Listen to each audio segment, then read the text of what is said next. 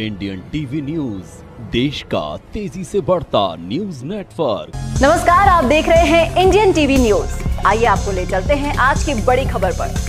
आजकल बिना इश्तेहार के धड़ल्ले से ज़मीन की खरीदी बिक्री जोरों से फल फूल रही है। ऐसा ही एक मामला मध्य प्रदेश के सिवनी ज़िले की लखनादौन विधानसभा और मंडला लोकसभा के लखनादौन का उजागर हुआ जिसमें खरीदार रफीक खान निवासी संजय कॉलोनी छपारा द्वारा विक्रेता प्रयास कुमार प्रकाश शेडोर व गारंटर रामेश्वर ग्वालवंशी भोपाल, गवार शेख मोहम्मद कुरेशी सिवनी, साबिर मोहम्मद अंजनिया हस्ताक्षर पंचनामा में हुए, जिससे ब्रोकर विश्वपाल श्रीवास्तव लखनऊ ने बटवारी आरआई के साथ साठ काट कर फर्जी तरीके से फ्री चर्च की ज़मीन में खरीदी, अहम भूमिका निभाई और ज़मीन के ट्रस्ट को इसकी कोई सूचना न जानकारी दी गई। जब इसकी जानकारी मिली तो आपत्तिकर्ताओं ने खरीदार और पटवारी।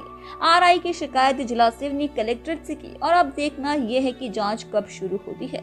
इसी तरह देश दुनिया की हर खबर को जानने के लिए देखते रहिए इंडियन टीवी न्यूज़। हमारे चैनल को सब्सक्राइब कीजिए और हमारी इस वीडियो को शेयर ज़रूर कीजिए। धन्यवाद।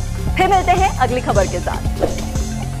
इंडियन टीवी न्यूज़ देश का तेज़ी से बढ़ता न्यूज़ नेटवर्क।